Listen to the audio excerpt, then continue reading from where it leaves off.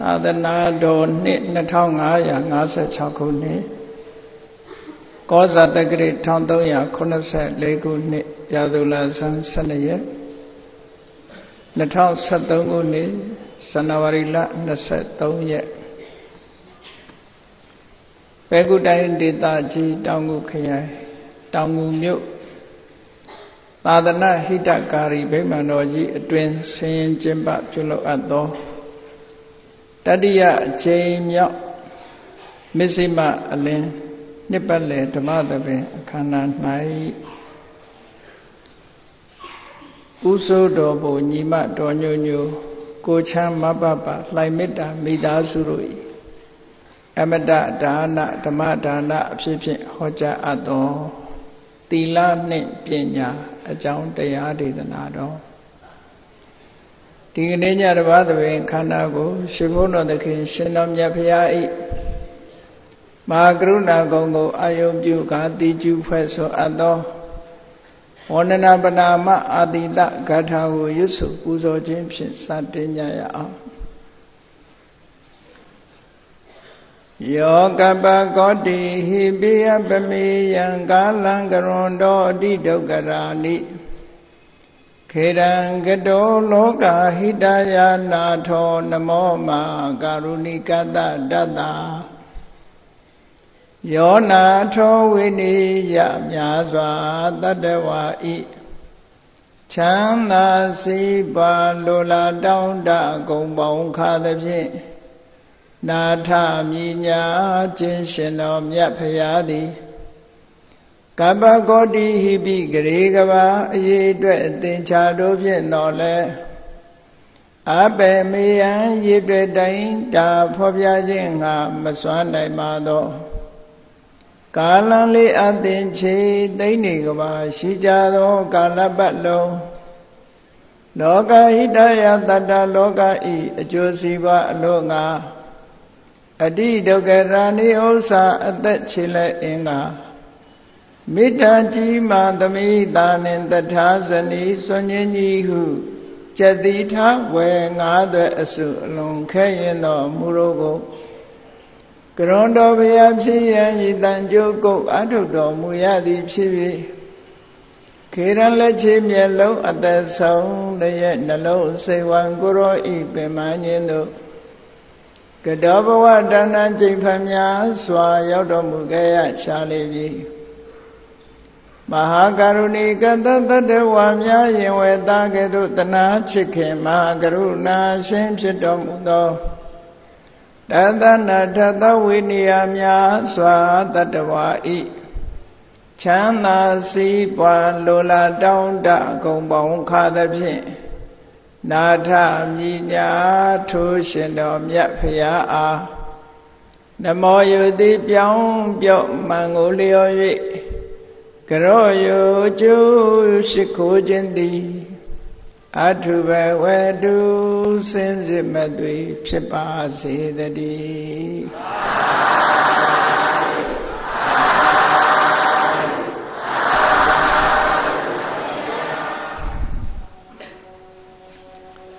သီလနဲ့ပညာလူတွေရဲ့တဏ္ဍာမှာ တရားဓမ္မနဲ့ပတ်သက်တဲ့အရေးကြီးတဲ့အရေးချင်းနှစ်ရပ်လို့ဒီလိုပြောလို့ရတယ်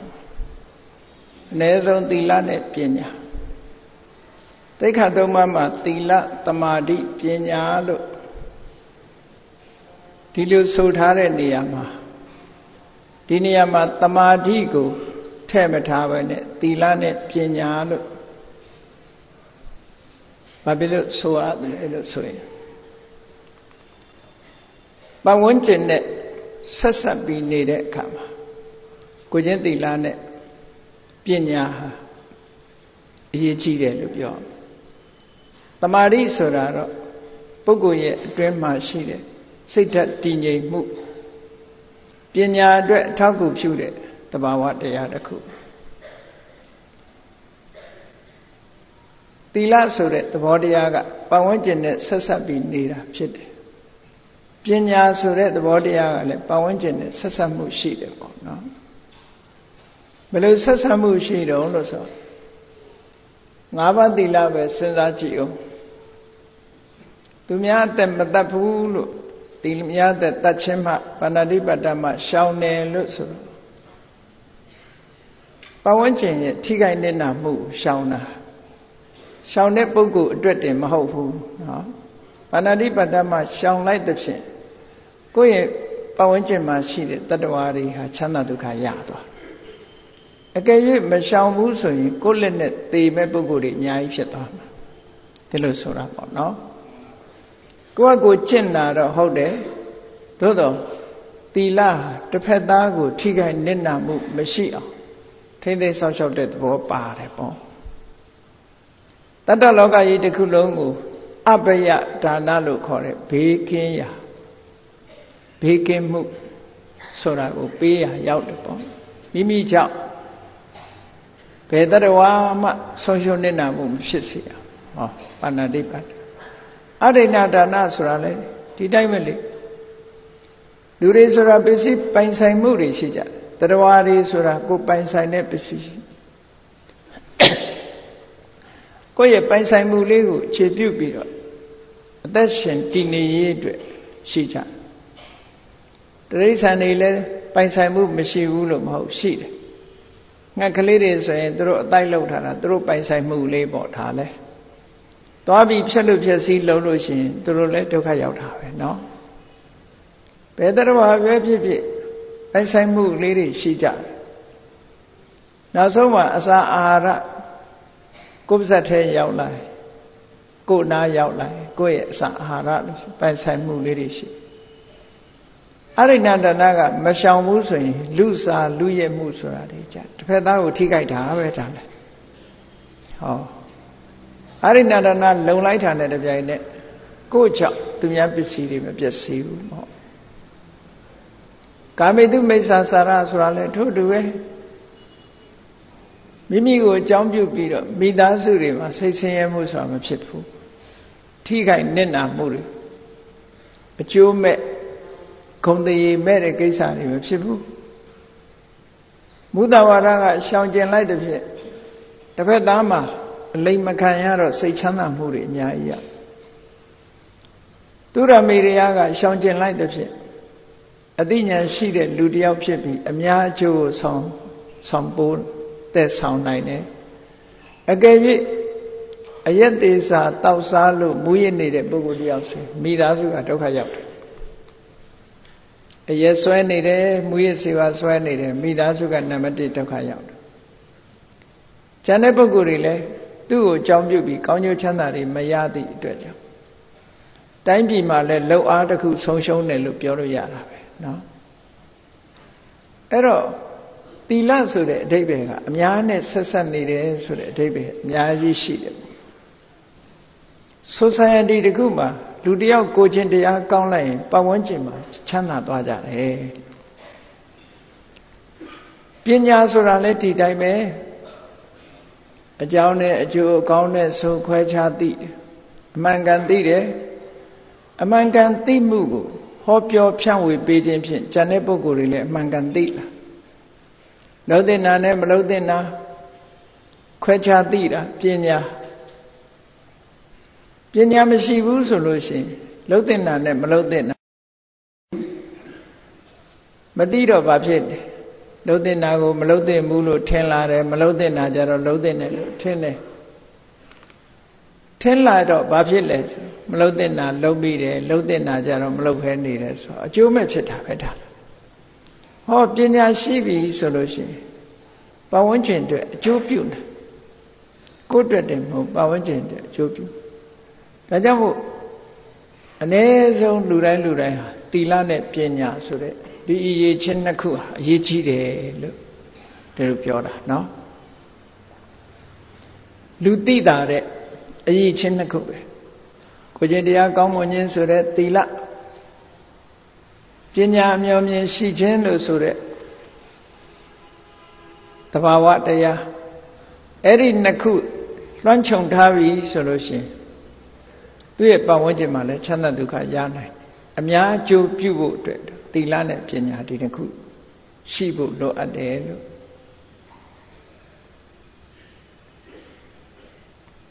အ ਨੇ ဆုံးသီလရှိပြီဆိုလို့ရှိရင်လေကိုချင်းသီလကိုအကြောင်းပြုပြီးတော့ပညာဆိုတာဖြစ်လာနိုင်တယ်ပေါ့သီလရှိပြီဆိုရင်ပညာလည်းဖြစ်ဖို့ရလမ်းစတွေ့နေ ပညာရှိလို့ရှိရင်လည်းကိုချင်းသီလစောင့်တည်ဖို့ရအတွက်လမ်းစတွေ့အဲ့တော့ဒီနှစ်ခုကအပြန်အလှန်အကျိုးပြုတယ်ဆိုတဲ့အဓိပ္ပာယ်ကိုသောဏဒါနတုတ်မှာ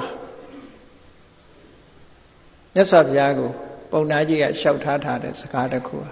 မှတ်သားစရာတစ်ခုပေါ့သူပြောတဲ့စကားနဲ့ပြောမယ်ဆိုရင်ယထသီလံတထပညာ သီလရှိမှပညာဆိုတာရှိနိုင်တယ်အပြန်အလှန်ယထပညာတထသီလပညာရှိမှလည်းသီလဆိုတာရှိနိုင်တယ်ဆက်ဆက်မှုရှိတယ်ပေါ့ဒီနှစ်ခုอ่ะနော်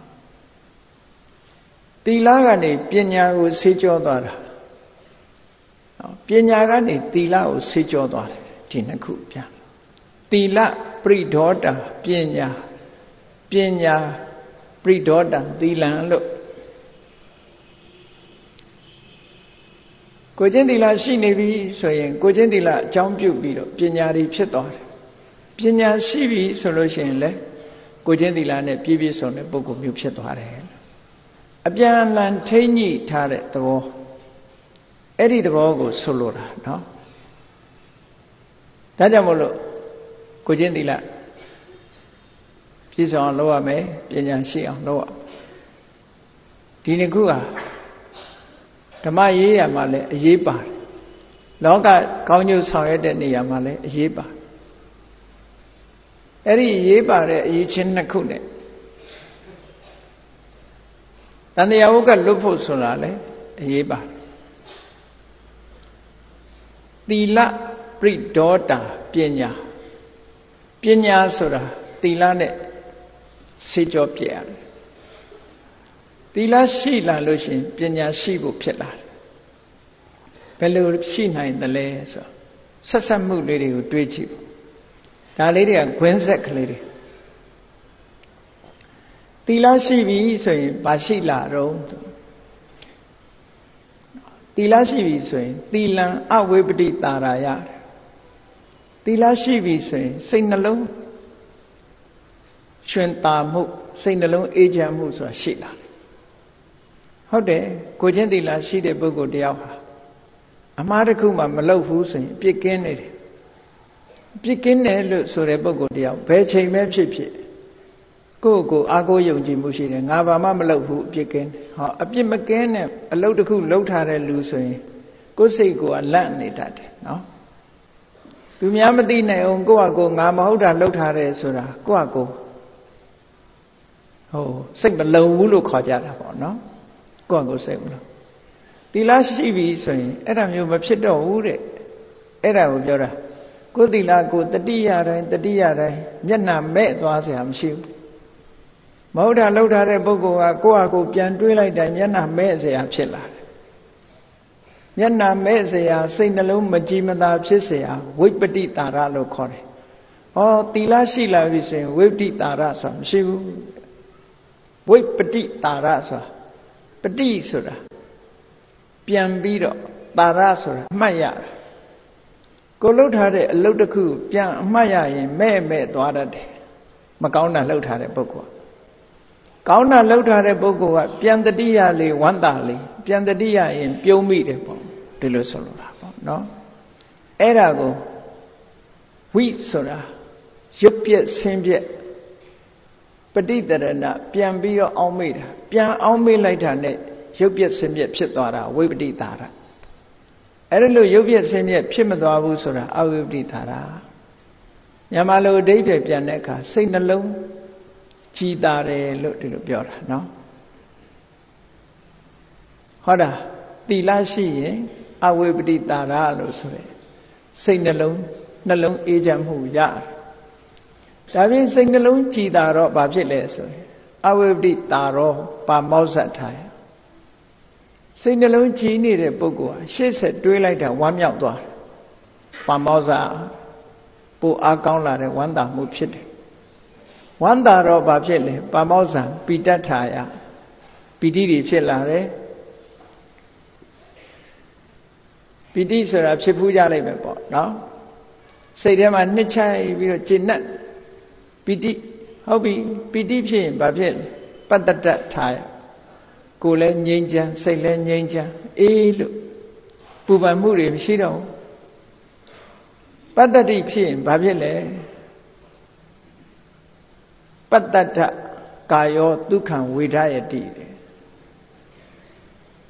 ကိုယ်စိတ်နှလုံးအေးချမ်းသွားတဲ့ပုဂ္ဂိုလ်ဟာချမ်းသာတာပေါ့တဲ့စိတ်ချမ်းသာမှုကိုချမ်းသာမှုရ စိတ်ချမ်းသာကိုချမ်းသာတော့ဘာဖြစ်တုံးဆိုရင်ဒုက္ခိနောစိတ်တံတမာတိယတိချမ်းသာပြီဆိုမှစိတ်ကတည်ငြိမ်မှုရတာတဲ့ဟောဒါတိလာကဆက်နွယ်ပြီးတော့တမာတိဖြစ်လာပြီးတော့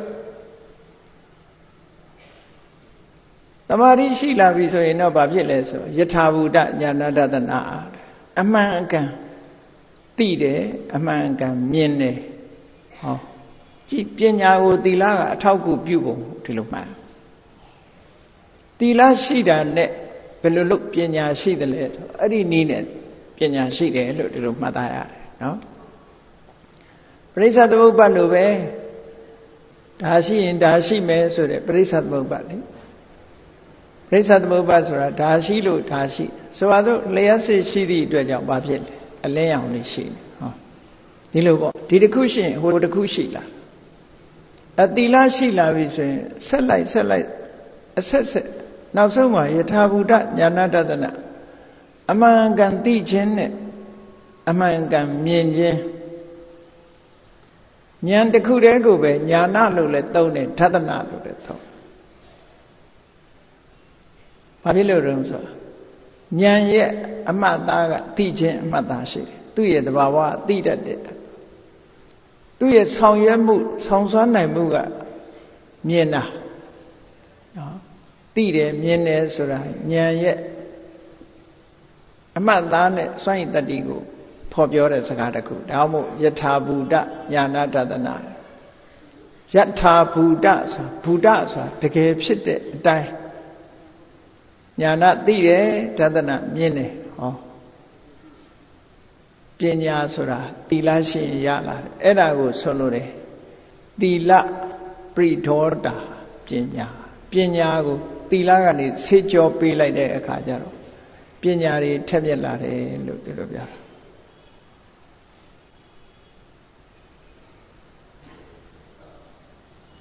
ကိုချင်းသီလကောင်းတဲ့ပုဂ္ဂိုလ်တွေဟာတရားဥတရားမြတ်ရဖို့ရအတွက်သီလကိုအားပြုပြီးတော့ သီလဆေးကြောလိုက်လို့ဝိပဿနာပညာတွေတိုးတက်ဖြစ်ပွားပြီးနောက်ဆုံးမဲ့ဖို့ရသွားတဲ့ပုဂ္ဂိုလ်တွေရှိတယ်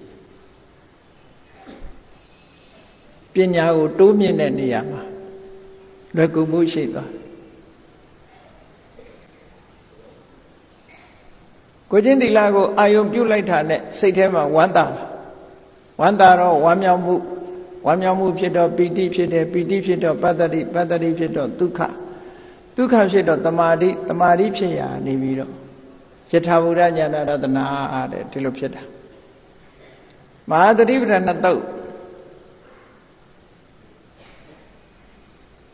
အဖွင့်ထက္ကတာမှာရေးထားတဲ့တိတ်တယဟန်ရဲ့ဝတ္ထုဆိုလို့ရှိရင်လေအမွေကိစ္စနဲ့လူသားသမားတွေရောက်ပြီးတော့ဝိုင်းထားတဲ့အချိန်လေးမှာ သူကသူထွက်မပြေးပါဘူးဆိုတာခရီးပြုတဲ့အနေနဲ့သူ့ခြေတော်သူရိုက်ချိုးပြီးတော့တညလုံးတရားအထုတ်တာအဲ့တရားအထုတ်တဲ့မထေကြီးဆိုရင်ကြည့်သူဆောင်ထိန်ခဲ့တဲ့သီလကိုကြည့်တယ်မဲ့တပေါက်မြအစွမ်းထင်မရှိပဂတိစင်ကြဲနေတဲ့သီလလေးကိုသူအာယုပြုတဲ့အခါမှာအခုလိုပဲဝန္တာမှုကျဉ်မှုပီတိဖြစ်မှုကိုယ်စိတ်ချမ်းသာမှု တမာတိဖြစ်မှုနဲ့အသိပညာတွေတက်သွားပြီးနောက်ဆုံးမှယန္တာဖြစ်သွားတာပေါ့ဟောတာကိုပြောတာသီလပရိဒေါတာပညာလို့ပညာကိုသီလကဆေးကြောသွားတာနဲ့စင်ကြယ်သွားတယ်တန်တတိအမတ်ကြီးတို့ကြည့်စစ်ပွဲနိုင်လို့ဘယင်ကဆုပေးတဲ့အနေနဲ့ခொနည်းတိတိ လွတ်လွတ်လပ်လပ်ချမ်းသာဒုက္ခခံစားဖို့ပေးထားတာအခွင့်ပေးထားတယ်မူရစ်တောက်စားပြီးတော့ခொနည်းတိတိပျော်ပါရာကနေနောက်ဆုံးတောကဖြစ်เสียကျုံလာတော့စိတ်တောကတွေမထိန်နိုင်အောင်ဖြစ်လာသို့သောသူကမူရစ်နေတဲ့ပုဂ္ဂိုလ်ဖြစ်ပေမဲ့လို့ပျော်ပါနေတဲ့ပုဂ္ဂိုလ်ဖြစ်ပေမဲ့လို့တောကကြောင့်ပျော်ပါမှုတွေရောပါသွားပြီးတော့အသိပညာကတော့သူ့မှာရှိတယ် မြတ်စွာဘုရားစီတောကပြောက်ကြောင်းတရားတောင်းတဲ့အခါမြတ်စွာဘုရားတရားဟောလိုက်တော့ဝိသေစာတောက်စားထားတဲ့ပုဂ္ဂိုလ်တယောက်ကကိုကျင့်တိလာတော့မရှိဘူးပေါ့ဖရာတရားတော်ကို နားလဲရတဲ့အချိန်လေးမှာအတိညာဏ်လေးရသွားတယ်အဲ့ဒီအတိညာဏ်လေးရလိုက်တဲ့အချိန်လေးမှာပဲပညာကနေသီလကိုဆေကြောလိုက်တဲ့အခါကျတော့ကိုကျင့်သီလလည်းလုံသွားတယ်အဲ့ဒီချိန် အတိရှိသွားတယ်အတိရှိလိုက်တာနဲ့တပြိုင်နက်သီလကိုစောင့်တည်လိုက်တာသူကသီလလုံပြီးသားဖြစ်သွားတယ်သီလဆိုတာအခုစောင့်တည်ရင်အခုပဂတိဖြစ်တာဟုတ်တမာရီတို့ကြတာထူထောင်ရတာသီလဆိုတာအခုရှောင်တယ်ဆိုရင်အခုသီလကိုယ်တဏ္ဍမှာမချိုးမချိုးမဖောက်ခြင်းရှိတယ်ပြည့်စုံနေတယ်လို့ဒီလိုပြောတယ်အဲ့တော့ပညာနဲ့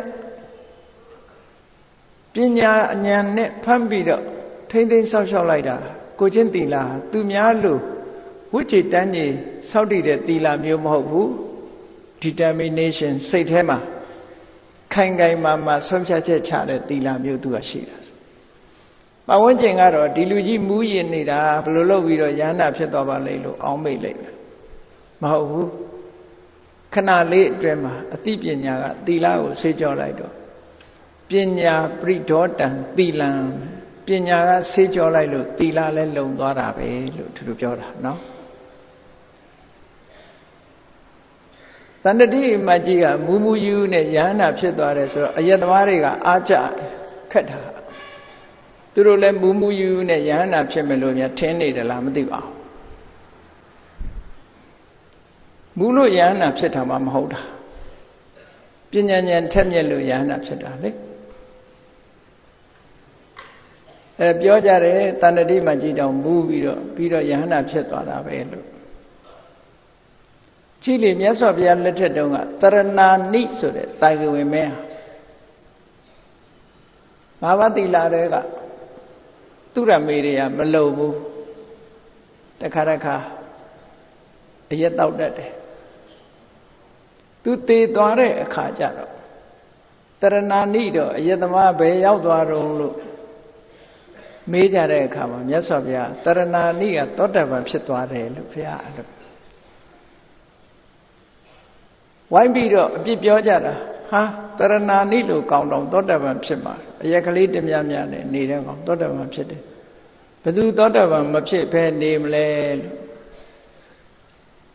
ယူဆကြတယ်မြတ်စွာဘုရားကရှင်းပြတယ်မဟုတ်ဘူး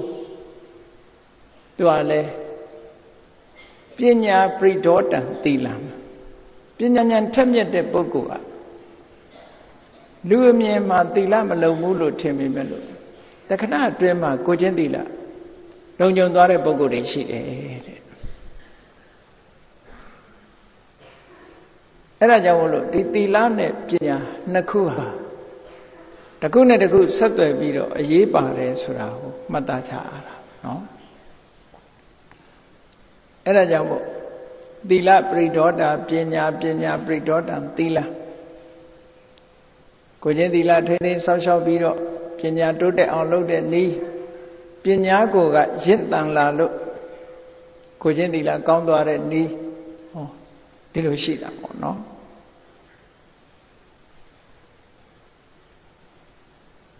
ဘလောက်ဆိုးစွမ်းတဲ့ပုဂ္ဂိုလ်ပဲဖြစ်ဖြစ် ပညာထက်မြက်လာပြီဆိုလို့ရှိရင်နောက်ဆုံးမှယန္နာပုဂ္ဂိုလ်ဖြစ်တယ်နိုင်ငံကျော်လူသက်သမားကြီးဖြစ်တဲ့အင်္ဂုလိမာလာကြည့်ပါလားဖះနဲ့တွေ့တဲ့အခါမှာကိုချင်းသီလာလုံသွားတာပဲလေကိုချင်းသီလာလုံသွားတာသူ့အတွက်ကတော့အမတမအရေးပါဘာကြောင့်လုံတာတော့ဆိုပညာကြောင့်မို့လို့ပဲသူက ဒုသသမားလုံနေပြီမဲ့လို့ပညာရှိတယ်သူကမြတ်စွာဘုရားရဲ့စကားလေးတစ်ခွန်းကသူ့ဘဝကြီးကိုပြောင်းလဲသွားစေတာဓာထမ်းပြီးတော့ဘုရားကိုတတ်မယ်ဆိုပြီးနောက်ကလိုက်တာမမိတဲ့အခါကျတော့လှမ်းអော်တယ်ဒိဋ္ဌသမဏကိုတော်ရက်လိုက်ရက်လိုက်နဲ့អော်တာမြတ်စွာဘုရားကတခွန်းနဲ့ပဲပြောတာ ငါကရက်နေတာပါတဲ့မင်းမရက်ဖို့လိုပါတယ်အဲ့ဒီစကားဟာတမန်ပုဂ္ဂိုလ်ကြီးကြားလို့ကတော့ဘာမှမထူဘူးလို့ထင်သူ့ဘဝကိုတော့သူနားလဲသွားတယ်သူစဉ်းစားတာဒီကိုယ်တော်ကသွားနေတဲ့တန်းနဲ့ငါကတော့ရက်နေတယ်မင်းပဲရက်ဖို့လိုတယ်လို့ပြောသွားရဲ့တန်းနဲ့သူရက်နေတယ်လို့ပြောတာအဓိပ္ပာယ်ရှိတယ်ဘာကြီးပဲပြောတာလဲငါမေးမယ်ပေါ့ဒီကိုယ်တော်ကလိန်ပြောမဲ့ကိုယ်တော်မျိုးမဟုတ်ဘူး မြင့်မြတ်တဲ့သူတော်စင်ဖြစ်တယ်အဲ့ဒီမှာသူကမေးတာသွားရဲ့တန်းနဲ့ဘာလို့ရက်တယ်လို့ပြောတာလဲလို့ဆိုမြတ်စွာဘုရားကရှင်းရှင်းလေးပဲလေငါပါဏာတိပတ္တအလုတ်တွေမလုပ်တော့ဘူးတဲ့အကုသိုလ်တွေအကုန်ရပ်လိုက်ပြီမင်းကမရသေးတာတဲ့မင်းကအကုသိုလ်လုပ်တွေကိုမရက်သေးဘူးတဲ့ဆက်လုပ်နေတော့ငါကတော့အကုသိုလ်တွေအကုန်ရပ်လိုက်ပြီမရှိတော့အဲ့ဒါကိုရည်စူးပြီးတော့ပြောတာလို့ဆိုသူတခါတည်း ပါလာတဲ့ဓာတ်တွေပြစ်ချပြီးတော့ဖះရှိဒူးထောက်ပြီးရဟန်းဖြစ်သွားတာပဲလေအဲ့ဒီအချိန်ကနောက်ထပ်ဘယ်တော့မှဒီဓာတ်ကိုပြန်မကင်တော့ဘူးလေပြန်မကင်တော့ဘူးဒါပညာရဲ့စွန့်ရည်တတ္တိလို့ခေါ်တယ်ပညာရဲ့စွန့်ရည်တတ္တိပညာကနေသီလကိုဆွေးကြောသွားတာဟောပဏာတိပါဒဝေရမဏိလို့အချိန်ချင်းဆိုးနေပြီမဲ့လို့ကိုယ်လာ ကြိုက်တဲ့ခြင်းလေးတွေဖတ်ခနဲ့ရိုက်လိုက်သေးတာနော်ကောင်းလောင်လေးတွေတွေ့တတ်လိုက်သေးတယ်ဆိုရင်တော့အလေးနဲ့မဆိုသေးတဲ့အဓိပ္ပာယ်ရောက်တယ်ပေါ့နော်အဲ့တော့ပညာရင့်တန်လာပြီဆိုလို့ရှိရင်လေကိုချင်းတရားကောင်းသွားတာလို့သူတို့ပြောတာအဲ့ဒါကြောင့်မလို့ဒီတစ်ခုဟာအမတမအရေးကြီးတယ်အဲ့ဒါနဲ့ပတ်သက်ပြီးတော့ ရသော်ဗျာဟောကြားတဲ့တုတ်တန်တစ်ခုတည်းမှတ်တမ်းတင်ထားတဲ့ဟာတစ်ခုဒီကနိကေမှာလာတဲ့သောဏထန္တာတုတ်ဆိုတာရှိတယ်သောဏထန္တာပညာတတ်ဗေဒကျန်တတ်ပုံနာကြီးတယောက်သူကအင်္ဂတိုင်းကစံပါမြို့မှာဘယင်ကအနေနဲ့အုပ်ဆိုးပြီးတော့နေတာ ဗေမိတာရမင်းကြီးကမကရာတိုင်းကနေပြီးတော့အင်္ဂတိုင်းကိုသိမ့်ပိုက်လိုက်သိမ့်ပိုက်ပြီးတော့အင်္ဂတိုင်းမကရာတိုင်းတိုင်းနှစ်တိုင်းပြည်နယ်ကြီးနှစ်ခုပေါ့နိုင်ငံကြီးနှစ်ခုအုပ်ချုပ်တဲ့ဘုရင်လုပ်နေတာအဲ့ဒီမှာအင်္ဂတိုင်းမှာရှိတဲ့စံပါမြို့ဟောဒီသောဏရဏကိုဘုရင်ကံအနေနဲ့ခံထားလိုက်တာ ပုံနာပညာတတ်ပေါ့ဗြဟ္မဏပညာတတ်တရားကြတော့မြတ်စွာဘုရားသခင်ကိုရမြတ်အဲ့ဒီအင်္ဂတိုင်းကိုခရီးသွားရင်းနဲ့စံပါမြို့ရောက်လာစံပါဆိုတာ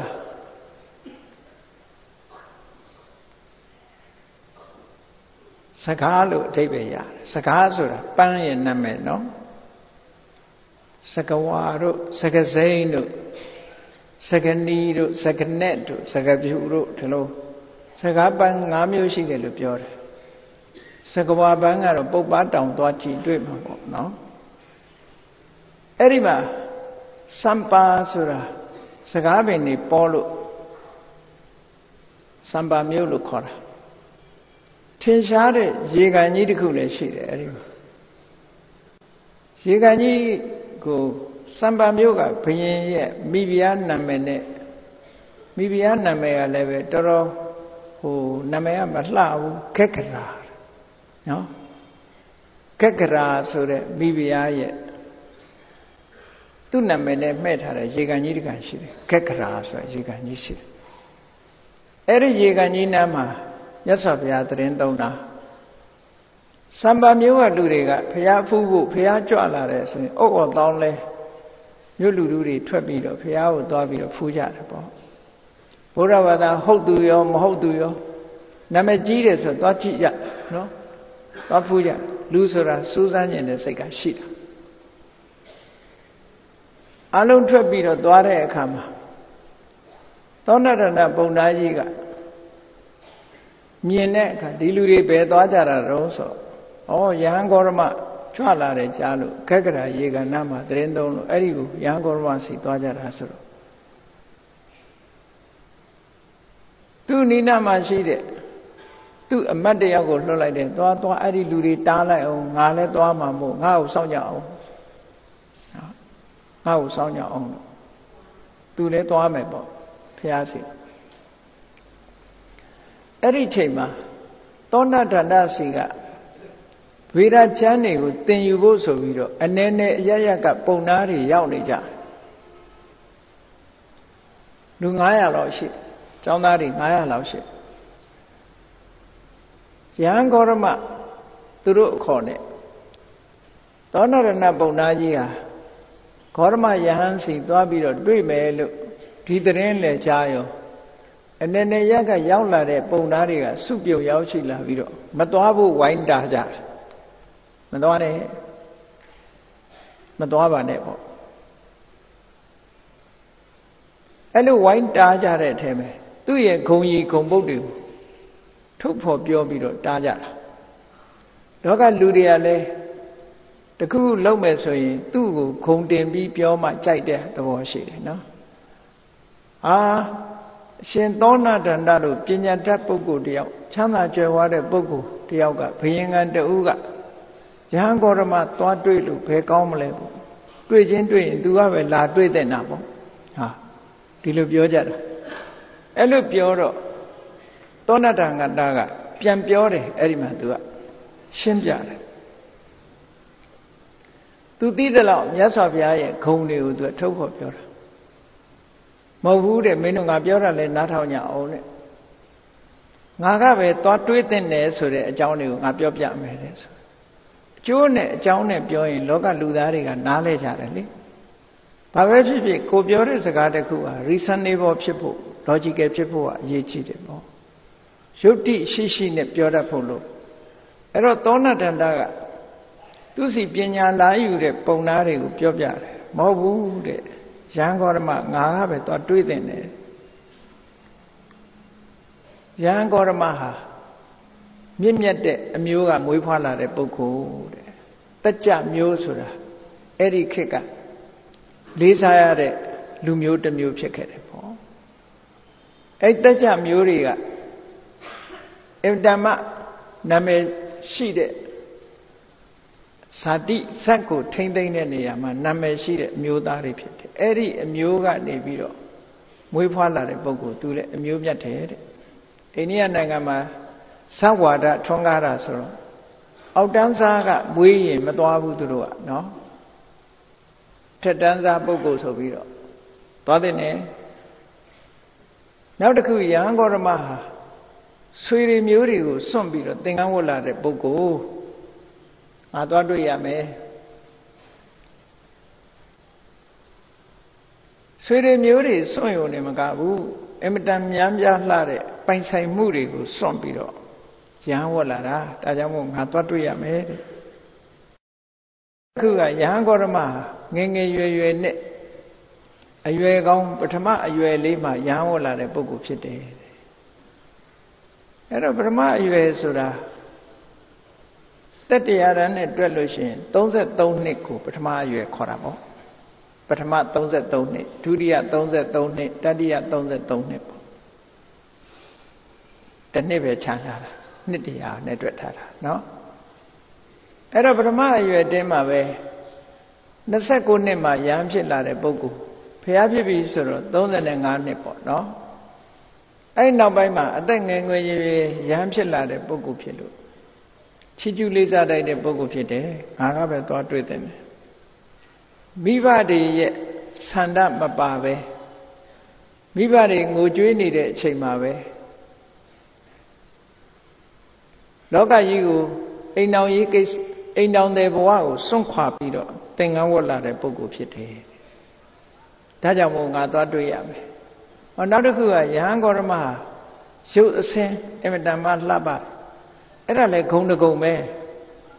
ချောလို့သွားတွေ့ရမယ်ဆိုတဲ့အဓိပ္ပာယ်ပေါ့နော်ဟုတ်တာပဲတချို့ကြတော့သွားကြည့်ရင်စိတ်ပြက်ပြန်လာမှာပေါ့နော်ရုပ်အစင်းလှပပြီးတော့ကြည့်ပြောရှုပြော အမတန်မှတင့်တယ်တယ်ဆိုတာကြတော့သွားကြည့်ကြဒါလူတွေရဲ့သဘာဝကိုပြောတာပဲလူတွေကတိပြမပြောနဲ့တောတောင်ตายရရင်တောင်သွားကြည့်တာပဲလေဘယ်အဖြစ်ตายရတယ်ပင်လေကမ်းခြေကตายရတယ်ဆိုตายရတဲ့ပင်လေကမ်းခြေသွားကြည့်တာဘယ်ဥယျာဉ်အဖြစ်လှတယ်ဆိုအဲ့ဒီဥယျာဉ်သွားကြည့်တာလူလည်းပဲဘသူချောတယ်ဆိုရင်သွားကြည့်တာအဲ့တော့ယဟန်ဂေါတမဟာလည်းအဘိရူပအလွန်ဆင်းလာတယ်ဒါကြောင့်မို့သွားကြည့်မယ် ဟောနောက်တစ်ခုကျတော့ကိုချင်းတရားတွေနဲ့ပတ်သက်တယ်ယဟန်ဂေါရမဟာကိုချင်းတီလာအမှန်တမ်းကောင်းတယ်ဒါကြောင့်သွားကြည့်တယ်အပြောဆိုလဲအမှန်တမ်းလိမ္မာရင်ကျေးတယ်တဲ့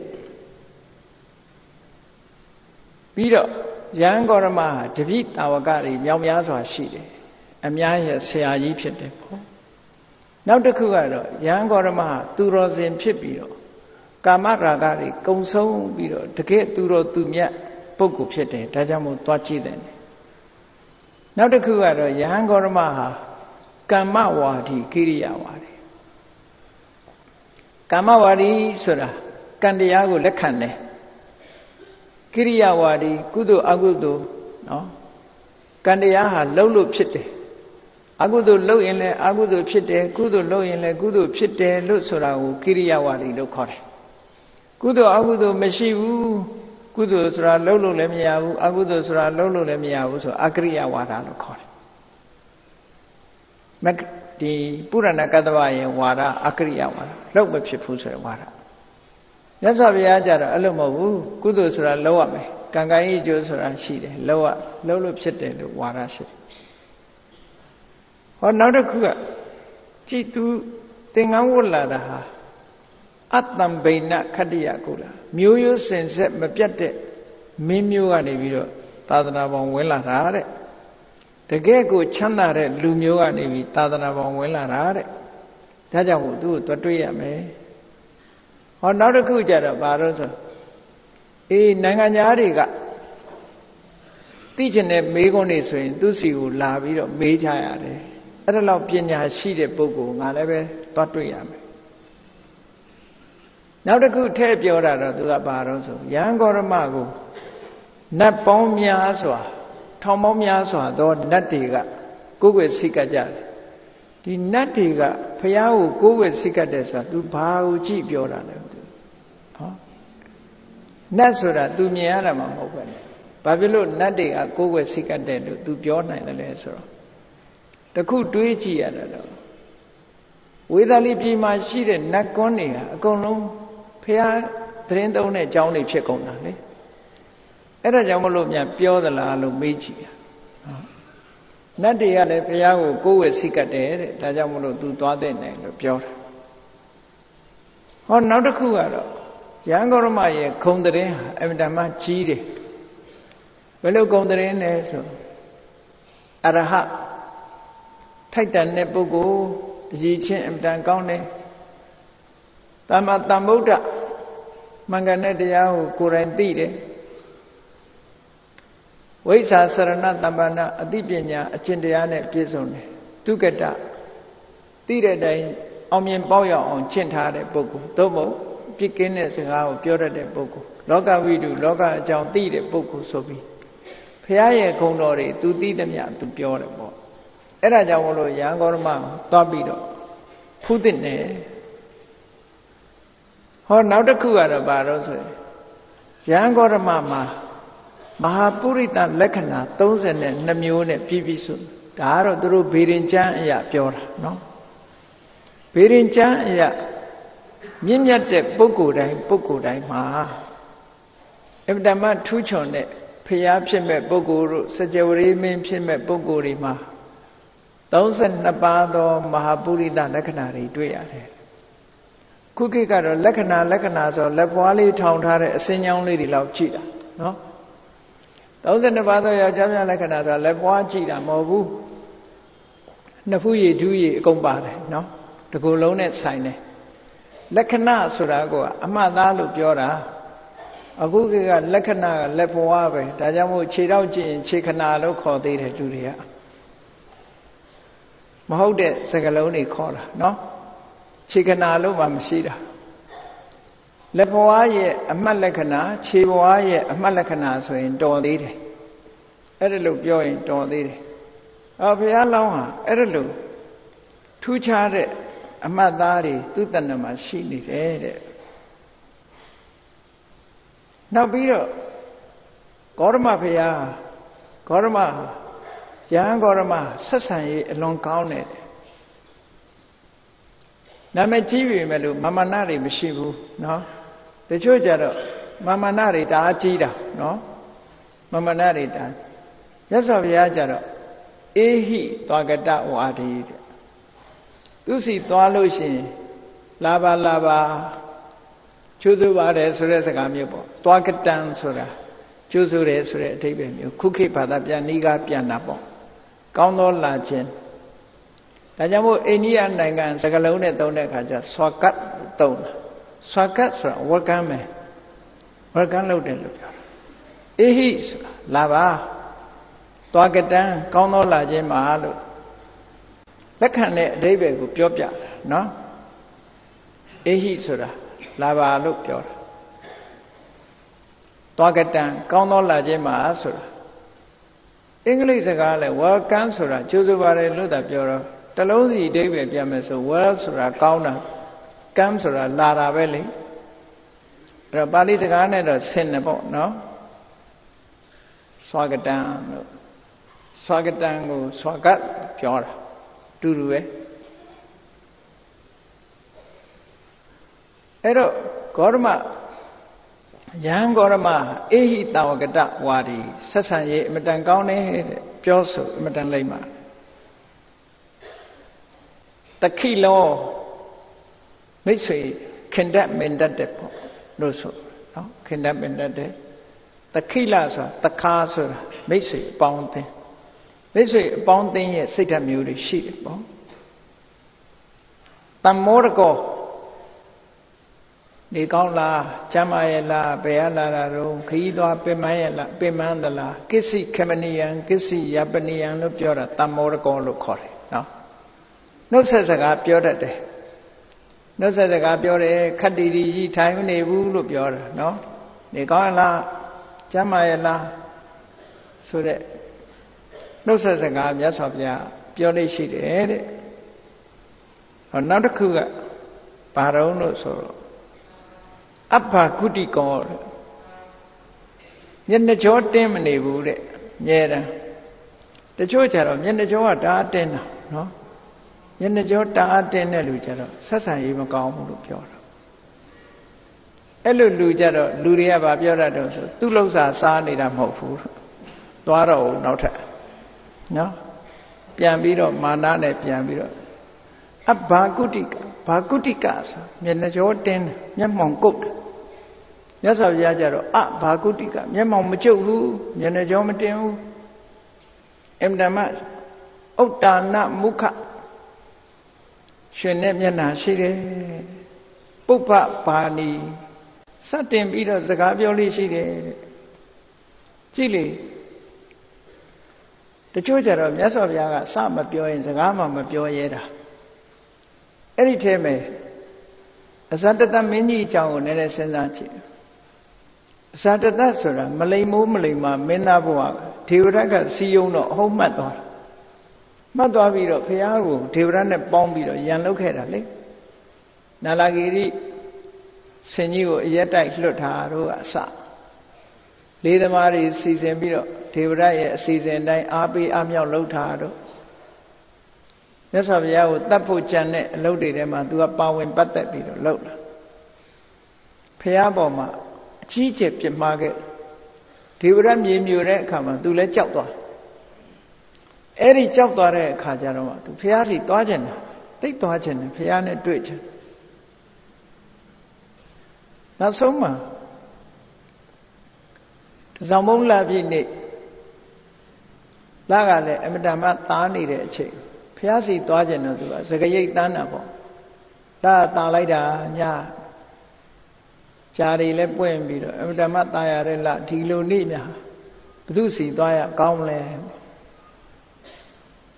သွားရကောင်းမလဲလို့ပြောတဲ့အခါကျတယောက်ကထပြီးမဂ္ဂလိဂောသလစီသွားရအောင်ဘင်းကြီးကသဘောမကျပုရဏကတ္တဝစီသွားရအောင်ဘာဖြစ်လို့တုံးဆိုအမတ်တွေကလည်းသူတို့ဆရာစီသူတို့ပို့ရင်သူတို့ကယာရုတိုးမှာခွင့်ရေးတွေရတော့ကိုယ်ဆရာစီကိုခေါ်ကြတာဖះကိုးကွယ်တာကဇီဝကတယောက်ပဲရှိတယ်အဲ့နာမှာ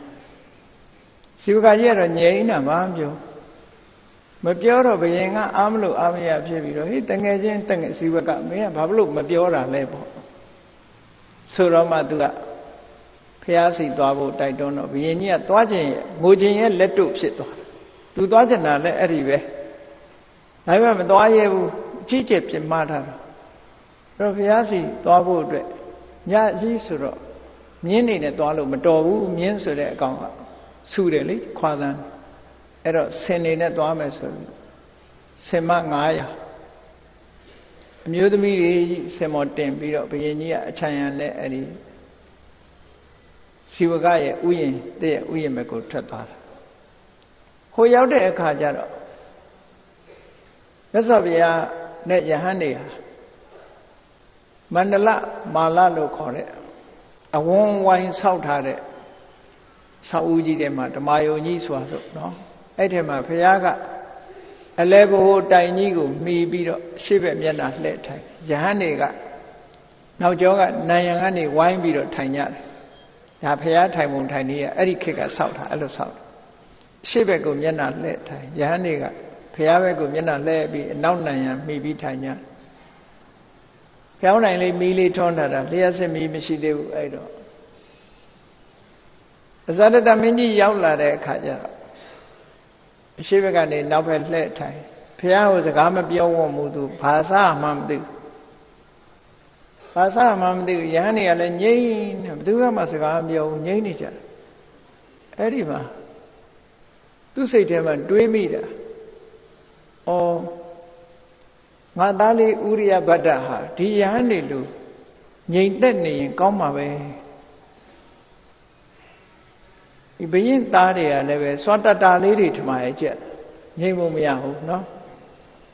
မိဘတွေကလည်းကိုသားသမီးမငြိမ်ရင်လည်းသူတို့ကဟိုချစ်ခင်တဲ့တန်ရောစင်နေဖို့ဆုံးမတာသိမရှိကြဘူးနဲ့သူကเนาะအဲ့လိုငါသားလေးလည်းဒီလိုငြိမ်ရင်ကောင်းမှာပဲသူလက်နာဘာတော့ဆိုလို့ရှိရင်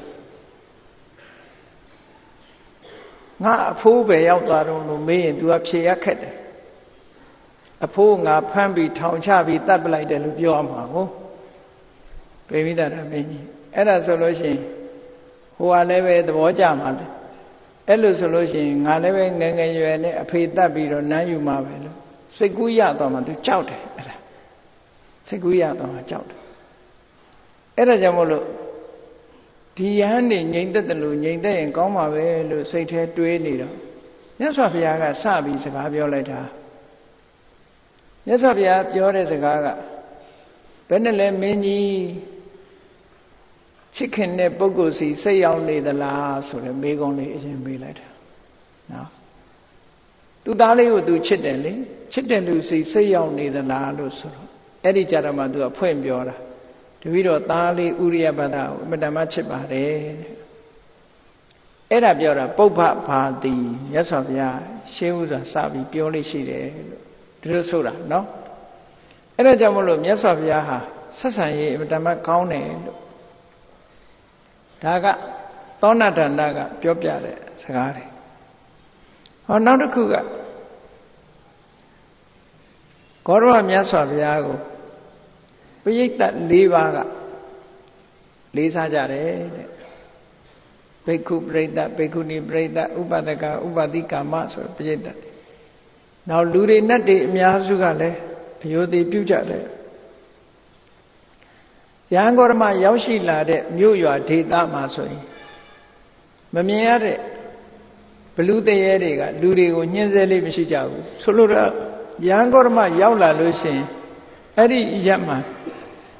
အန္တရာယ်ကင်းကင်သွားတာနာမည်ရှိနေတာနော်အန္တရာယ်ကင်းသွားတယ်ဖះကြွလာတာနဲ့တကယ်နဲ့အန္တရာယ်ခင်းသွား ဟောနောက်တစ်ခုပါ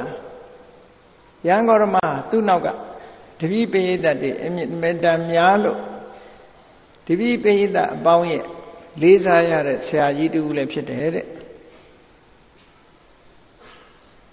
အခုလို့ဂုံတိတ်ခါတွေရလာတာဟာတမန်အားဖြင့်ရတာမဟုတ်ဘူးသူ့ရဲ့အကျင့်သီလနဲ့အတတ်ပညာကြောင့်ဖြစ်တယ်ဗေမိတာရမင်းကြီးကလည်းကိုယ်ဝယ်စိကတ်တယ်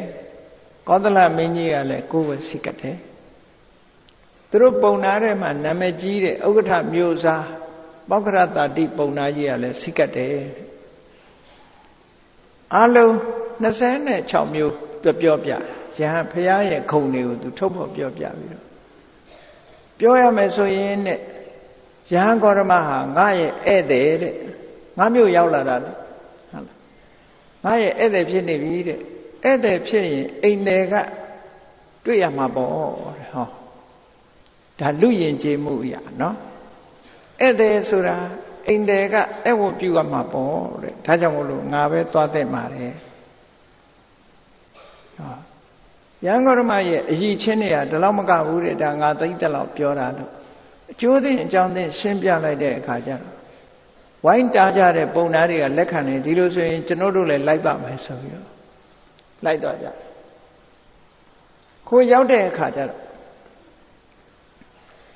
ပုံသားကြီးကနည်းနည်းတော့လန့်တယ်မြတ်စွာဘုရားအဗ္ဗဓမ္မအရှိန်ဝါကြီးကဟိုရောက်တော့သူစိတ်ထဲမှာမလုံမလဲဖြစ်ပြီးတော့စိတ်ညစ်နေတာဘာတော့လို့ဆိုတော့ကြာငါအမြလူကြားတဲ့မေကွန်မေးလိုက်လို့ငါဖြေတာကိုယ့်ကာဖြစ်လို့ရှိရင်ရဟန်းဂေါရမကဟာဒါဒီလို မေကွန်ငါမေးလိုက်လို့မှားသွားမယ်ဆိုရင်ဟာဒီမေကွန်မျိုးဒီလိုမမေးရဘူးလို့ပြောလိုက်ရင်ငါအဆက်ကွဲလိုက်မယ်တဲ့အဲ့ဒါလည်းကြောက်တယ်တွေးပြီးတော့တခါရဟန်းဂေါရမကမေကွန်မေးလို့ငါဖြေလိုက်ရင်လေပုံနာမေးခွန်းဆိုတာဒီလိုမဖြေရဘူးလို့ဆိုပြောလိုက်ရင်လူကြားတဲ့ငါအဆက်ကွဲအောင်မယ်တဲ့သူတော်အကြက်ရိုက်အဲ့ဒါလို့ ဒီနားကလှဲ့ပြန်သွားရင် ကောင်းမလားလို့စိတ်ကူးမိသေးတယ်အဲ့ဒါလို့လှဲ့ပြန်သွားရင်လည်းငါပြောကြမှာတဲ့ရဟန်းကောဓမမတွေ့ဝွန်လို့လှဲ့ပြန်သွားတယ်ဆိုပြီးတော့ငါပြောလွတ်မှာမဟုတ်ဘူးကြိတ်မိတ်ပြီးတော့ဒါဖះစီရောက်သွားတာခက်လန့်လန့်နဲ့ရောက်သွားတယ်စိတ်မလုံဘူးသူအဲ့ဒါကိုမြတ်စွာဘုရားကသူ့စိတ်ကိုသိတယ်သိတာနဲ့ပဲသူသူဖြေနိုင်မဲ့မေးခွန်းကိုမြတ်စွာဘုရားမေးလိုက်တာ တစ်ဖက်သားအကြက်တဲဖြစ်နေတာကိုကြက်တဲအောင်မလုပ်ဘူးမြတ်စွာဘုရားနော်သူဖြေနိုင်တဲ့မေးခွန်းလေးဘယ်လိုမေးလိုက်တော့ဆိုသူတို့ရဲ့သူတို့နဲ့ပတ်သက်တဲ့မေးခွန်းပေါ့အေးဗြဟ္မဏတွေရဲ့အတိုင်းဝိုင်းထဲမှာဗြဟ္မဏလို့ခေါ်လို့ရအောင်အင်္ဂါဘယ်နှချက်လိုအပ်တယ်လဲအည်ချင်းဘယ်နှချက်လိုအပ်တယ်လဲပေါ့အဲ့ဒီအည်ချင်းနဲ့ပြည့်စုံလို့ ငါပြမနာလို့ပြောလို့ရှိရင်အမှန်ကန်ပြောရရောက်တယ်လေတဲ့လိန်ရညာရမရောက်တယ်လေမေးတဲ့အခါကျတော့ဝန်တာသွားတာသူကသူဖြေနိုင်တဲ့မေးခွန်းလေအဲ့ဒီကျတော့ဝန်တာသွားတဲ့အခါလူများတော်တော်ခက်တယ်နော်သူကအဲ့ဒီကျမှခေါင်းလေးကိုထောင်လိုက်သေးတာသူကခေါင်းလေးကိုထောင်ပြီးတော့လူမြင်အောင်လှုပ်ပြလိုက်ပြီးတော့မှ ခါလေးကော့ခေါင်းလေးထောင်ပြီးတော့မှသူကဖြေတယ်တဲ့၅မျိုးရှိပါတယ်ပြမနာလို့ခေါ်ဖို့အတွက်၅မျိုးရှိပါတယ်သူဖြေနိုင်တဲ့မိကွန်းဆိုတော့ဝမ်းသာသွားတာနော်အဲ့တော့အဲ့ဒီ၅မျိုးကဘာတွေလဲလို့မေးတဲ့အခါကျတော့ပြမနာလို့ခေါ်ဆိုဖို့ရာအတွက်ကအမေဘက်ကရော အဖေဘက်ကရောမျိုးရိုးတန့်ရမယ်ဒါနံပါတ်1 ဥပတော်သူစာတော်နှစ်ဖက်ကကောင်းကောင်းမွေးလာတဲ့ပုဂ္ဂိုလ်ဖြစ်ရနောက်တစ်ခုကဘာတော့ဆိုမန္တတရောဘေးရင်ကိုတစ်ဖက်ကဗေဒကျမ်းနေနဲ့ပတ်သက်ပြီးတော့ဗေဒသုံးပုံကိုအပြီးတတ်သင်ကြားထားတဲ့ပုဂ္ဂိုလ်ဖြစ်ရမယ်ပါရဂုဆိုတာဆုံးအောင်သင်တာကိုပြောတာနော်ပါရဂုဆိုတာအဆုံးလမ်းဆုံးရောက်အောင်သင်ထားတာတချို့ကြတဝက်တစ်ပြက်နဲ့ပြီးသွားတာရှိတယ်လေ စာသင်တာလည်းတဝက်တစ်ပြက်နဲ့သင်တာမျိုးဆုံးအောင်မသင်ဘူးဝေရာဇာနဲ့ပတ်သက်လာပြီးတော့သူကဆုံးအောင်သင်ပြီးတော့တတ်မြောက်တဲ့ပုဂ္ဂိုလ်ဖြစ်ရမယ်တဲ့ဟောနောက်တစ်ခုကတော့အဗ္ဗဓမ္မရုပ်ချောတဲ့ပုဂ္ဂိုလ်လည်းဖြစ်ရမယ်ကိုချင်းသီလလည်းကောင်းရမယ်ပညာလည်းရှိရမယ်ဟောဒီ၅မျိုးအဲ့ဒီ၅မျိုးနဲ့ပြည့်စုံလို့ရှိရင်တဲ့ပြမနာလို့သတ်မှတ်ပါတယ် နံပါတ်1ကမျိုးရိုးတန့်တယ်ဟောနံပါတ်2ကဗေဒကျမ်းတတ်တယ်နံပါတ်3ကရုပ်ချောတယ်နံပါတ်4ကကိုချင်းတီလာကောင်းတယ်နံပါတ်5ကပညာရှိတယ်ဟောဒီ5ခုအဲ့ဒီ5ခုနဲ့ပြည့်စုံရင်ဗြဟ္မဏလို့ပြောနိုင်ပါတယ်ဗြဟ္မဏလို့သတ်မှတ်တယ်လို့သူတို့အတိုင်းဝိုင်းမှာဆိုတော့အဲ့ဒီမှာမြတ်စွာဘုရားကမိကုန်းနေမေးတာ ထပ်ပြီးတော့မေးတယ်ကဲအဲ့ဒီ၅မျိုးတည်းကတစ်ခုကိုလျှော့မယ်၄ခုတင်ယူရင်ဘာလျှော့တစ်ခုလျှော့လိုက်၅မျိုးရှိတာများနေသေးတယ်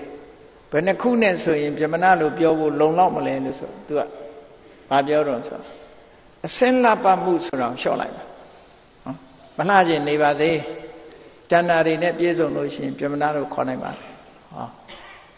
အစင်းကိုဖယ်လိုက်တော့၄ခုပဲကျန်တော့တယ်နော်ရုပ်အစင်းလှပမှုဒါဖြင့်နောက်တစ်ခုဘာလျှော့လို့ရအောင်ဆိုတော့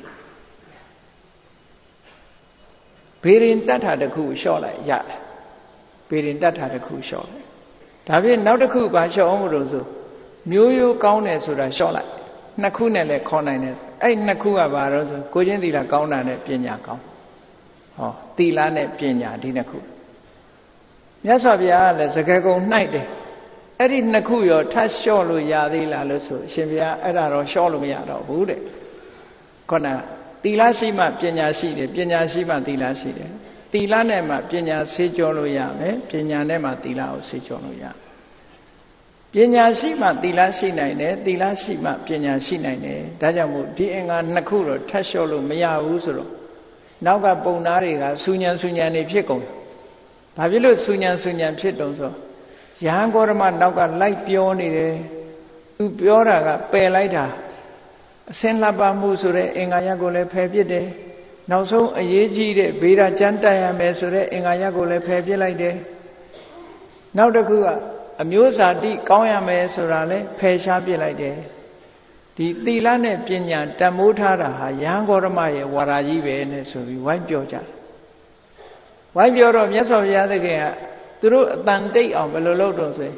အေးမင်းတို့သောဏတန္တငါပြောတဲ့စကားကိုမဖြေရှင်းနိုင်ဘူးဆိုရင်မင်းတို့ပြောမင်းတို့နဲ့ပြောမယ်သူ့မှာအရေးချင်းရှိတယ်လို့လုံလောက်တယ်လို့ထင်လို့ရှိရင်မင်းတို့တိတ်တိတ်နေကြငါသောဏတန္တနဲ့ဆက်ဆွေးနေမယ်လို့ဆိုတော့သောဏတန္တကအရှင်ကောရမမပြောနဲ့ကျွန်ုပ်ကိုယ်တိုင်သူတို့ပြောမယ်ဆိုပြီးတော့ဒီပြဿနာငါကိုယ်တိုင်ရှင်းမယ်ဆိုပြီးသူက ဘာပြောတော့ဆိုအဲ့ဒီပရိသတ်တွေထဲမှာသူ့ရဲ့တူလေးတယောက်ပါတယ်အင်္ဂကဆိုတဲ့လူငယ်တယောက်တောင်းသားတယောက်ပါလာရုပ်ဆင်းကလည်းအမတန်လှအဲ့မှာသူကပြောပြကဲအရှင်တို့တဲ့ကျွန်ုပ်ပြောပြမယ်အလုံးနားဆိုင်ထောင်းဟောဒီပရိသတ်ထဲမှာကျွန်ုပ်ရဲ့တူအင်္ဂကဆိုတဲ့လူလူငယ်တယောက်ပါတယ်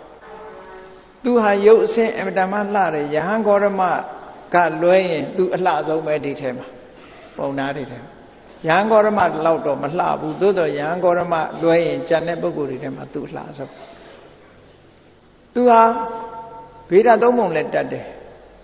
ကျွန်ုပ်ကိုယ်တိုင်သင်ပေးထားတာနော်အမေဖေမျိုးရိုးကိုလည်းသိတယ်မျိုးရိုးလည်းစစ်တယ်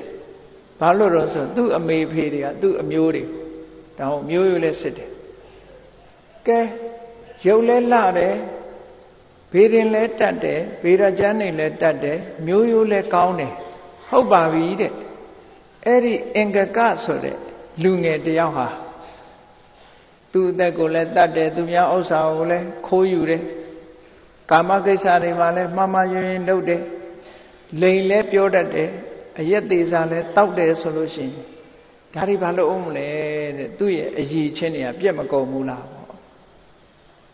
ဆိုလိုတာကဘလောက်မျိုးရိုးကောင်းကောင်းဘလောက်စာတတ်တတ်နော်ဘလောက်စာတတ်တတ်ဘလောက်ရုပ်အစဉ်လှလှကိုချင်းတရားပြပြပြီဆိုလို့ရှိရင်တန်မိုးရှိပါမလားတဲ့တန်မိုးမရှိဘူးဒီလိုဆိုလိုတာနော်သူကအဲ့ဒါကိုလက်တွေ့ရှင်းပြပြီးတော့ငါကယဟန်ကောရမရဲ့ဝါရနောက်လိုက်တာမဟုတ်ဘူးလက်တွေ့ကကိုချင်းသီလမကောင်းဘူးဆိုရင်လူရဲ့တန်မိုးဟာကျသွားတယ် ဒါကြောင့်မလို့ကိုချင်းသီလဆိုတာရှိရဒါကြောင့်ကိုချင်းသီလသီလနဲ့ပညာဟာအရေးကြီးဆုံးပဲလို့သူပြောတာပါလို့အဲ့ဒါလို့ရှင်းပြလိုက်တော့ပိဋကကလည်းသူကဆရာကြီးကိုသူ့ဘယ်သူမှမလန်နိုင်ဘူးသူကဆရာကြီးကိုအဲ့ဒါလို့လက်တွေ့ပြလိုက်တော့ဘယ်သူမှမလှန်နိုင်ကြတော့ဘူးသူအဲ့ဒီမှာမြတ်စွာဘုရားကမေးတယ်သောဏတန္တာတဲ့အခုပြောနေတဲ့သီလက ပညာကိုဆေးကြောတယ်ပညာကသီလကိုဆေးကြောတယ်ဆိုတဲ့သီလပညာဆိုတာဘယ်ဟာကိုသီလလို့ခေါ်မှလဲဘယ်ဟာကိုပညာလို့ခေါ်တာတော့ဒီမိကုံမေးလိုက်သူကလည်းပါတယ်သူမဖြေနိုင်တော့ဘူးသိပ်ပြီးတော့မဖြေနိုင်တော့သူကဘယ်လိုပြောတော့တပည့်တော်ကတော့သီလပညာဒီလောက်ပါပဲတဲ့အရှင်ဘုရားပဲရှင်းဟောပါတော့တဲ့သီလပညာအကြောင်း အဲ့ဒီကြတော့မြတ်စွာဘုရားကသီလဆိုတာဘယ်လိုဟာလဲဆိုတာရှင်းဟောတယ်နော်ပညာဆိုတာဘယ်လိုဟာလဲလို့ဆိုတာကိုရှင်းဟောတယ်အဲ့တော့သီလဆိုတာဘုရားဘာသာဝင်တို့ရဲ့သီလဟာဒုစရိုက်ကရှောင်ကျင်တာလဲသီလပဲဟောငါးပါးဟိုပြစ်မှုတွေကရှောင်ကျင်တာလဲသီလပဲအမညာဖလားတုံးမှာလာတဲ့သုလသီလ မစ္စိမသီလမဟာသီလလို့ဆိုတဲ့အပိုင်းကန္တတွေမှာဖော်ပြထားတဲ့ကိုချင်းတရားနဲ့ပတ်သက်တာအဲ့ဒီထဲမှာယဟန်တော်တွေဆိုလို့ရှိရင်ဘာပါလာတော့လို့ဆိုဘုဒ္ဓကံမဖိစကံမတမာရံပါပฏิဝိရတောလို့ဆိုတာပါတယ်တစ်ပင်နေမျိုးစေ့တွေမဖြတ်စည်းတာလဲကိုချင်းသီလထဲမှာပါတယ်ရဟန္တာပါတယ်အဲ့တော့ခုခေတ်အနေနဲ့ဆိုလို့ရှိရင်ဘာတော့ ပတ်ဝန်းကျင်ထိမ့်သိမ်းဆောက်ရှောက်ရေးဆိုတာနဲ့ပတ်သက်လာတဲ့အခါကျတော့အင်တမတ်ခင်မိတဲ့စနစ်တစ်ခုဖြစ်လာတယ်ဘုရားဘာသာမြတ်စွာဘုရားရဲ့အဆုံးအမလေပတ်ဝန်းကျင်တဘာဝကိုထိမ့်သိမ်းဆောက်ရှောက်တာမြတ်စွာဘုရားကခုမှမဟုတ်ဘူးကိုချင်းတီလာတဲ့ထားပြီးတော့ထိမ့်သိမ်းဆောက်ရှောက်လာတာတဲ့အဲ့ဒါလို့ဘုဒ္ဓကမ္မဘိဇကမ္မတမာရမပฏิဝေရတောသမနောကောမြတ်စွာဘုရားကမျိုးစေ့တွေတစ်ပင်တွေဖြည့်ဆည်းတာမရှိဘူးတဲ့ အဲ့တော့ကြားဘူးတယ်တိဘက်တရားလည်းပဲတစ်ပင်ဆိုရင်ဘယ်တော့မှမခုတ်ဘူးလို့ပြောတယ်တစ်တပင်မြက်တပင်မှာနတ်တွေရှိတယ်ဒါကြောင့်မို့လို့သူတို့ကတစ်ပင်ခုတ်ခြင်းကရှောင်ကြားတယ်လို့ဒီလိုပြောတာနော်ဗမာပြည်တော့ခုတ်လိုက်တာကုန်ပြီလေနော်ကုန်ပြီအဲ့တော့သူတို့ကတော့တစ်ပင်မခုတ်ဒါကြောင့်မို့လို့ပတ်ဝန်းကျင်ထိမ့်သိမ်းဆောက်ရှောက်ရေးမှာဘုရားအစလောက်လာခဲ့တယ်လို့ဒီလိုပြောရမှာပေါ့အေးကောင်းပြီ သီလဆိုတာဟာနောက်ဆုံးမှာကိုချင်းတရားထိမ့်သိမ်းမှုနဲ့ပတ်သက်တာတွေအားလုံးကိုဘုရားဘာသာကဆိုလိုတဲ့သီလနောက်ဆုံးအိန္ဒိယကိုထိမ့်သိမ်းဆောက်ရှောက်တာလဲသီလပဲအစားအစာစားတဲ့အခါမှာဆင်ញင်တုံတရားနဲ့စားတာလည်းပဲသီလပဲအသက်မွေးဝမ်းကြောင်းတရားသဖြင့်အသက်မွေးတာလည်းပဲသီလပဲလို့ဟော ဘုရားဘာသာရဲ့သီလကိုမြတ်စွာဘုရားအပြည့်စုံရှင်းပြပညာကြတော့ဗာနဲ့ရှင်းပြတော့ဆိုတမာတိကျင့်စဉ်တစ်ခုကိုချင့်ပြီးတော့ကံကုံအာယုန်တွေကိုစွန့်ခွာလာလို့ရရှိလာတဲ့ဝိဝေကသပိတိဒုက္ခကာမဂုဏ်အာယုန်တွေကိုစွန့်ခွာလိုက်နိုင်လို့ဖြစ်ပေါ်လာတဲ့ပိတိဒုက္ခ လောကလူတွေသိတာကတော့ကာမဂုဏ်အာယုန်နဲ့ဖြစ်ပေါ်လာတဲ့ပိတိဒုက္ခဟောတာသိတာနော်ကာမဂုဏ်အာယုန်စွန့်ခွာလိုက်လို့ရလာတဲ့ပိတိဒုက္ခမျိုးကိုတမန်ပုဂ္ဂိုလ်တွေကမခံစားဘူးတဲ့တမာတိစွမ်းအားနဲ့ကာမဂုဏ်အာယုန်တွေကိုစွန့်ခွာလိုက်လို့ရလာတဲ့ဝိဝေကသပိတိဒုက္ခဆိုတာပထမဆန်ချမ်းသာကိုပြောတာဟောနောက်တစ်ဆင့်မြင့်လိုက်တဲ့အခါကျတော့တမာတိသပိတိဒုက္ခ တမာတိစွမ်းအားကြောင့်ရလာတဲ့ပိတိဒုက္ခမျိုးနောက်တစ်ခုကျတော့နေပိတိကဒုက္ခပိတိမပါတဲ့ချမ်းသာတတ္တိယဆံချမ်းသာနောက်တစ်ခါကျတော့ဥပိ္ပခဒုက္ခအလုံးကိုလစ်လျူရှုနိုင်ပြီးတော့စိတ်ဓာတ်တည်ငြိမ်မှုကြောင့်ရလာတဲ့ချမ်းသာအဲ့ဒီဆံချမ်းသာ၄မျိုးကိုပညာလို့မြတ်စွာဘုရားဟောတယ်တမာတိကိုမဟောဘဲနဲ့ဒီနေရာမှာပညာလို့ဟောတယ် အဲ့ဒီကနေပြီးနောက်ဆုံးဝိပဿနာကျင့်စဉ်တစ်ခုကိုကျင့်ဇံပိုင်းဆိုင်ရာအဘိညာဉ်တွေရပြီးတော့ဝိပဿနာကျင့်စဉ်ကိုကူးပြောင်းတယ်ကူးပြောင်းပြီးတော့ဝိပဿနာကျင့်စဉ်ဆိုတာမဂ္ဂင်၈ပါးအကျင့်တရားကိုကျင့်တာပဲတမ္မာဒိဋ္ဌိသီလကိုအခြေခံပြီးတော့တမ္မာဝါစာတမ္မာကမ္မန္တတမ္မာအာဇီဝဆိုတဲ့သီလကိုအခြေခံပြီးတော့တမ္မာဒိဋ္ဌိတမ္မာသင်္ကပ္ပတမ္မာဝါယာမတမ္မာတတိတမ္မာသမာဓိဆိုတာ ਨੇ နော်ဝိပဿနာရဲ့အာယုံကိုစိတ်ဟာဝိပဿနာအာယုံနဲ့စုံစည်းပေးတာတမ္မာတတိလို့ခေါ်တယ်စုံစည်းအောင်ကြိုးစားတာတမ္မာဝါယာမစိတ်ကလေးအာယုံပေါ်မှာတည်ငြိမ်အောင်လုပ်တာကတမ္မာတမာဓိအမှန်ကန်တဘာဝကိုသိအောင်စဉ်းစားတာကတမ္မာသင်္ကပ္ပတကယ်သိလာတာကြတော့တမ္မာဒိဋ္ဌိလို့အဲ့ဒီကာရပကမက္ခင်၅ပါးနဲ့ဝိပဿနာကျင့်စဉ်ကိုကျင့်လိုက်တာ နောက်ဆုံးကြတော့ဒီမဂ္ဂင်၈ပါးအကျင့်တရားဟာတလုံးတစည်းတည်းဖြစ်ပြီးတော့နိဗ္ဗာန်ထိအောင်ရောက်ရှိသွားနိုင်တဲ့ဒီစွမ်းအားတွေပြည့်လာတဲ့အခါကျတော့သောတပတိမေကသဂရဂာမိမေကအနာဂာမိမေကရတ္တမေကလို့ဆိုပြီးတော့ဝိပဿနာကပို့ပေးလိုက်လို့ဆက်ရောက်သွားတဲ့မေက၄ဆင့်ကိုရောက်ရှိပြီးတော့သွားပြီးဆာယဆာယဖလလို့ဆိုတဲ့အကျိုးတရားတွေကိုလည်းထုတ်လို့တယ် အဲ့ဓာတွေဟာနောက်ဆုံးမှာအရတ္တမက်ကပညာနဲ့အရတ္တဖလပညာဒီပညာဟာအမြင့်ဆုံးပဲလို့မြတ်စွာဘုရားသူတို့လက်လန်းမမီဘူးပညာရက်တွေကိုမြတ်စွာဘုရားဟောပြခဲ့တာဖြစ်တယ်ဝိပဿနာကျင့်စဉ်ဟာလည်းပဲပညာပဲဇံကြောင့်ရရှိလာတဲ့သံတမာဘတ်တွေနဲ့ဒီအဘိညာဉ်ဒီဟာလည်းပဲပညာပဲဝိပဿနာဟာလည်းပညာပဲဝိပဿနာကျင့်စဉ်ကြောင့် ပေါက်ရောက်အောင်မြင်လာတဲ့မဲ့ပညာဖို့ပညာပညာတွေပဲအဲ့ဒီထိအောင်မြတ်စွာဘုရားရဲ့သာသနာတော်မှာသီလပညာဆိုတာအဲ့ဒီဘက်ကိုဥတည်နေတဲ့သီလနဲ့အဲ့ဒီဘက်ကိုဥတည်သွားတဲ့ပညာမျိုးကိုသာသီလပညာလို့မြတ်စွာဘုရားဆိုလိုတယ်လို့အဲ့ဒီသုတ်တံမှာဒီလိုရှင်းပြတဲ့အခါနောက်ဆုံးသောဏတန္တပုံနာကြီးဟာဘုရားဘာသာအဖြစ်ခံယူသွားတယ်ပေါ့အဲ့တော့ဒါကြောင့်မလို့ သီလနဲ့ပညာလို့ဆိုတဲ့အခါမှာဘာကိုရည်ညွှန်းတာတော့ဆိုတကယ်တော့လေမဂ္ဂင်၈ပါးပဲမဂ္ဂင်၈ပါးမှာမြတ်စွာဘုရားကတမာတိကိုသီလနဲ့ပညာပေါင်းကူးကြတဲ့မှာမြုပ်ထားပြီးတော့သီလနဲ့ပညာနှစ်ခုကိုထုတ်ဖော်ပြီးတော့ဒီထဲမှာဟောထားတာထုတ်ဖော်ဟောထားတော့တမာတိမပါဘဲနဲ့ဖြစ်တယ်လို့တော့ဒီလိုမအောင်မိတ်လေးနဲ့နော် ဒီနေရာမှာသီလနဲ့ပညာနှစ်ခုအဓိကထားပြီးတော့မြတ်စွာဘုရားဟောတာဖြစ်တယ်အဓိကကတော့မဂ္ဂင်၈ပါးအကျင့်တရားပဲမဂ္ဂင်၈ပါးအကျင့်တရားဆိုတာတမ္မာဝါစာတမ္မာကမ္မန္တတမ္မာအာဇီဝကသီလတမ္မာဝါယာမတမ္မာတတိတမ္မာသမာဓိကတမာဓိတမ္မာဒိဋ္ဌိတမ္မာသင်္ကပ္ပကပညာလို့သီလသမာဓိပညာ၃ရက်နဲ့ဖွဲ့စည်းထားတဲ့မဂ္ဂင်၈ပါးဟာ လောကုတ္တရာမဲ့အဖြစ်ရောက်သွားတဲ့အခါကျတော့တလုံးတစည်းတဲ့တပေါင်းတဲ့လူဖြစ်ပြီးတော့အရှိန်ဝါအမတမကြီးသည့်အတွက်ကြောင့်ဘယ်တော့မှမရောက်ဘူးတဲ့နိဗ္ဗာန်ကိုပို့ဆောင်ပြီးတော့ပေးတယ်ဒါကိုပြောတာနော်ဘယ်လိုပို့ဆောင်ပေးတာတော့လို့ဆိုလို့ရှိရင်ကိလေသေမာရင်တော်နိဗ္ဗာန်ခိစတိတိမခောတဲ့တစ်ဖက်ကကိလေသာဆိုတဲ့အနောက်အရှက်စိတ်ရဲ့အညစ်အကြေးတွေကိုဖယ်ရှားပြီးတော့တစ်ဖက်က နိဗ္ဗာန်ကိုပို့ဆောင်ပြီးတော့ပေးလိုက်တာဒါကြောင့်မို့လို့မက္ခလို့ခေါ်တယ်တဲ့တခုကိုဖယ်ရှားပြီးတော့တခုတည်းကိုရောက်အောင်ပို့ပေးလိုက်တာဒီအိဗယ်မျိုးကိုပြောတာအဲ့ဒါကြောင့်မို့လို့မက္ခဝိပဿနာကြတော့အဲ့ဒီအဆင့်ကိုမရောက်သေးသည့်အတွက်ကြောင့်ကျင့်တဲ့လမ်းစဉ်အနေနဲ့ပဲနိဗ္ဗာန်မက္ခတိခဝေတတိတိမေခောနိဗ္ဗာန်ကိုရှားတယ်ဆိုတဲ့အဓိပ္ပာယ်ကဝိပဿနာကိုဖော်ပြတာနော် နိဗ္ဗာန်နောက်တနည်းကနိဗ္ဗာန်နတ္ထိကေဟိမက္ခယတိတိမေခော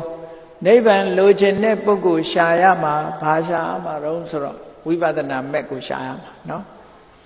ဝိပဿနာမဲ့ကိုရှာတဲ့အခါကျတော့နိဗ္ဗာန်ကိုဘယ်သူကပို့ဆောင်ပေးတော့ဆိုလို့ရှိရင်ဒီမဂ္ဂင်၈ပါးကပဲပို့ဆောင်ပေးမှာနောက်ဆုံးမှာတကယ်ပို့ဆောင်ပေးတဲ့မဂ္ဂင်၈ပါးကြတော့လောကုတ္တရာမဲ့ဖြစ်သွားပြီးတော့ကိလေသေမာရင်တော်နိဗ္ဗာန်ခိစတိတိမဲ့ကောကိလေသာတွေကိုတစ်ဖက်ကဖယ်ရှားပြီးတစ်ဖက်ကနိဗ္ဗာန်ကိုအာယုံပြုဖို့ပို့ဆောင်ပေးလိုက်တယ်လို့ဒီလိုပြောတာเนาะ အဲ့တော့အဓိကအနှစ်သာရကိုကြည့်လိုက်မယ်ဆိုရင်သီလရဲ့တမာတိရဲ့ပညာရဲ့အဲ့ဒီထဲမှာသီလဟာအခြေခံတဲ့အရာဖြစ်တယ်သီလကိုအခြေခံလိုက်တာနဲ့တမာတိလည်းပါသွားတယ် သီလတမာတိနှစ်ခုအခြေခံလိုက်တဲ့အခါမှာပညာဉာဏ်လည်းထက်သန်ပြီးတော့နောက်ဆုံးမှာနိဗ္ဗာန်ကိုမျက်မှောက်ပြုနိုင်တာဖြစ်တယ်တရားချက်ခင်သူတော်စင်ပြိဿအပေါင်းတို့သီလနဲ့ပညာဟာ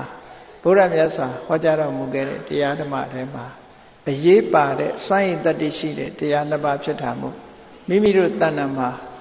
သီလကိုအခြေခံပြီးတော့ပညာရအောင်ကျင့်ကြံကြိုးကုပ်အားထုတ်နိုင်ကြပါစေကုန်သတည်း